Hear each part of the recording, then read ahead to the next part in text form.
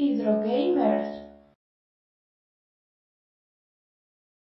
Cabeza de hongo entonces nos envía a buscar algunas basuras para que podamos despojarlo de su inmortalidad o algo así. Sí, el enano es inmortal. Todo el pinche mundo en este juego es inmortal, ya. Y después de masacrar a unos pobrecillos monjes, aparece Guerrero con armadura. ¡Qué nombres tan creativos! Extraño al general Cacahuada. Después de darle tremenda golpiza al tipo, resulta que su armadura es tan resistente que no podemos vencerlo usando la espada. Pero Hunter es muy listo, claro que sí. Y se me ocurrió arrojarlo al abismo. La aventura continúa y llegamos hasta un templo donde sonamos una campana para irnos al limbo, donde nos presentan a tres changos y una barra de salud aparece. ¿Monos del bimbo? Creí que era un osito, pero ah, da igual. Quiero unas donitas.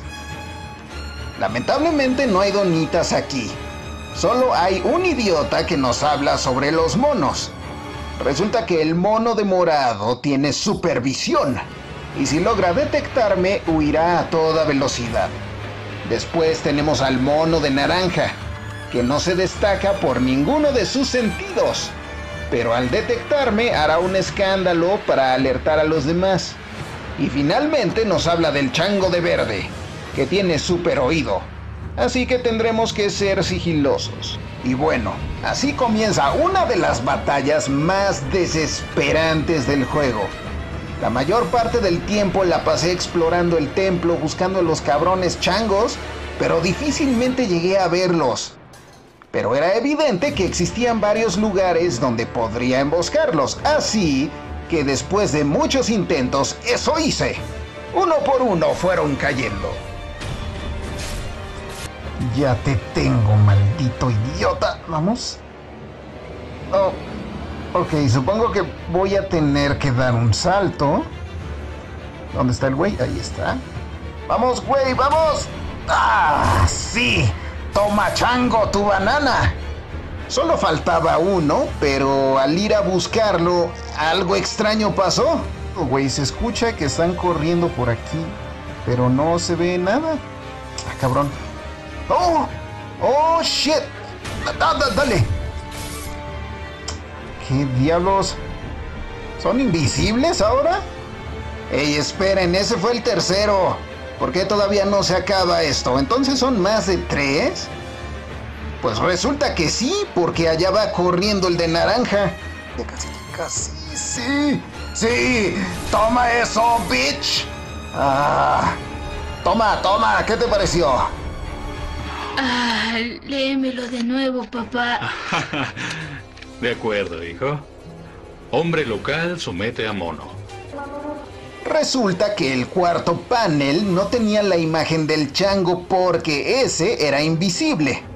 ¿Recuerdan? Bueno, ya, caso resuelto. Inmediatamente después somos transportados a otro templo, para variar, y conocemos a una nueva waifu. Esta chica resulta, ya saben, ser inmortal. Porque pues, ¿por qué chingados no? Y tiene en su poder una espada para matarlo inmortal. Ah, caray. Eso sí me interesa, ¿eh?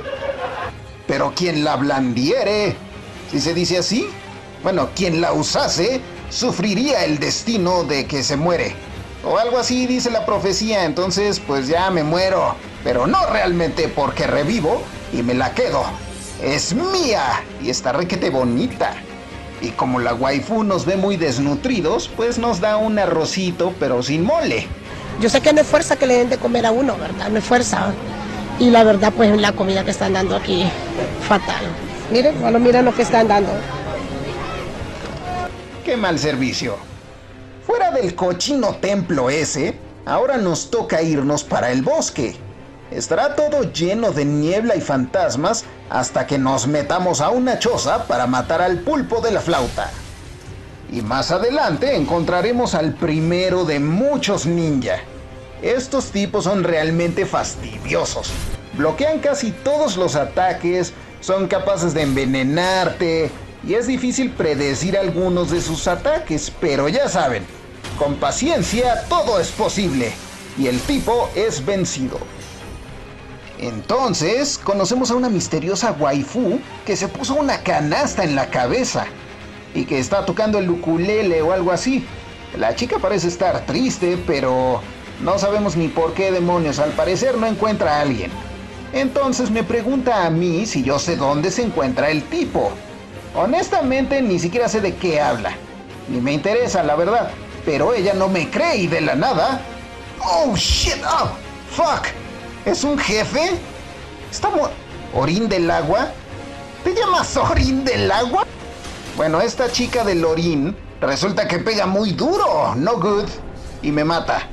Bueno, ya da igual. Esta vez la voy a ignorar y así me evito problemas.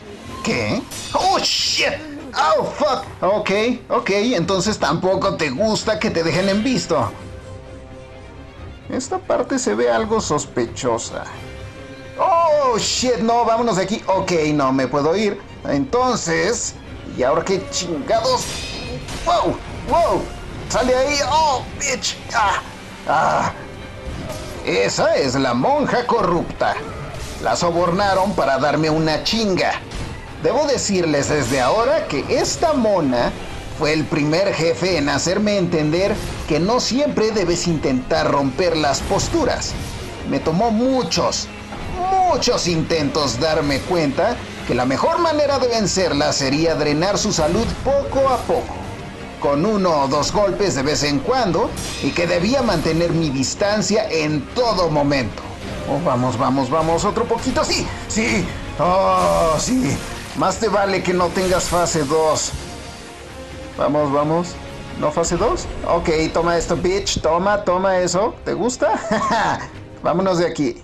La monja ha caído y me dio la habilidad de respirar bajo el agua.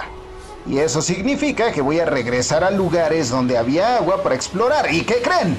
Me encontré a un panzón descabezado en el fondo del charco. Estos tipos provocan un estatus anormal conocido como terror. Y si la barra del terror se llena, te mueres. Instantáneamente, sin importar cuánta salud tengas. Así que usaré esta cosa que da resistencia al terror y me morí. Ah, pero es que nos faltó una cosa, el confeti. Este objeto aumenta el ataque que le haremos a enemigos de tipo fantasmal. Y tras un poco de esfuerzo, ¡zas! El descabezado es derrotado. Entonces descubrimos un nuevo camino que nos lleva al valle sumergido. Hogar de unos idiotas que no paran de disparar. Solo que esta vez la idiota mayor está al principio y no al final. Resulta que tiene gran variedad de ataques y pega muy fuerte. Ayuda invisible. Ya veo por qué se llama así. Yo no veo que nadie me ayude. Estúpido juego. Pero debo perseverar. Debo pasar. ¡Oh, Sekiro-san! Así que eventualmente aprendo sus movimientos y justo cuando tengo acorralado a mi enemigo, se avienta al vacío. ¿Eso cuenta como victoria? ¿Su barra de salud quedó vacía? Supongo que sí. Pero, ¿que no me va a dar nada? Ok, emblemas. ¿Y qué más? ¿Su billetera? ¿Nada? ¡Qué estafa! En fin, después de eso seguí explorando. Y From Software, como siempre, sigue troleando. Y luego de uno de los saltos peor calculados de la vida, me regresan a la hoguera y para mi sorpresa, la idiota mayor estaba con vida otra vez. Obviamente la dejé en visto porque, pues que se joda. Y luego de un rato, en la profundidad de la montaña, otro mini jefe aparece. Esta vez resulta ser uno extremadamente fácil. Solo debes presionar el botón de bloqueo a toda velocidad y su postura se romperá fácilmente. No hay mucho más que ver aquí. Ok, no hay nada acá. Qué puente tan sospechoso. Mejor me paso corriendo por... Oh my... ¡No! ¡Oh, shit! Ah, ah. No morí. Oh, oh. te bitch. No me puede ver. No me puede ver bajo el agua, ¿verdad? Ok. Ok, ¿qué es esto? Oh, güey, un puto dulce. Arriesgué mi vida por un puto dulce. Mejor vámonos de aquí ya. Vamos con cuidado. No, güey, no saltes. Oh, como pinche camarón. Oh, vámonos de aquí. Wow, oh, oh. Por un segundo creí que había muerto. Ay, una hoguera. A huevo. Así pues, llegué contra el siguiente jefe, el simio guardián. Resulta que es bastante agresivo y puede ser muy difícil encontrar el momento justo para atacar. Me recuerda un poco a Flame Lurker de Demon's Souls. Pero no hay problema, porque monos así son mi especialidad. Así que me morí. Pero al siguiente intento, sin problemas. Vamos, güey. Eso es, sí. ¡Oh, al fin! ¡Ya! ¡Oh! ¡Oh! Con su propia espada. ¡Ah! Eso fue hermoso. ¡Ah! Al fin. ¿No tiene billetera? No. Ok. ¿Y ahora qué chingados? Supongo que se va a abrir acá, ¿no? ¿Mm? ¿Y eso? ¡Ah, cabrón! ¡Oh! ¿Qué? ¡Oh, shit! Se... ¡Ah! se... ¿Qué? ¡Oh! ¡Oh! ¡Fuck! ¡Ah! ¿Ahora echa terror? No, no, oh no, oh no, oh no, déjame salir, cabrón. ¡Ah! ¡Ah! No. Muy bien, va de nuevo. Ya levántese, chango. Sé que no estás muerto, anda, de pie. El secreto con este jefe es provocar que haga algún ataque que sepas evitar y que te dé suficiente tiempo para pegarle al menos una vez. Éxito seguro.